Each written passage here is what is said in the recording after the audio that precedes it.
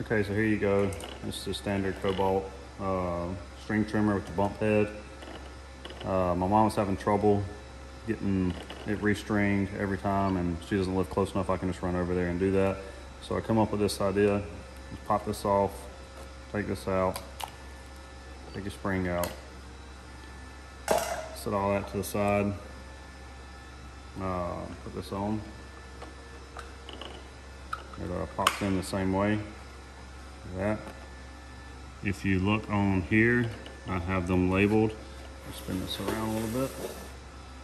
I have them labeled orange and yellow. So these things come in a pack, orange and yellow, and they're directional the way the blade sits. Uh, so you just pop the orange one in. They didn't make this head. Uh, this company that makes these also makes a head, but they didn't make it for the Kobalt. Pop it in the yellow. Then you have this piece right here, threads on.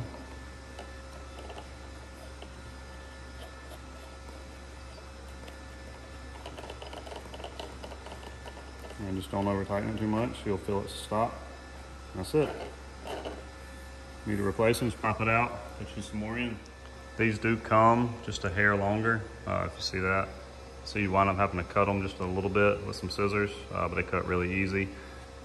Um, other than that, everything should be good. If you're interested, I'll leave a link to my Maker World account. Uh, you can download it for free.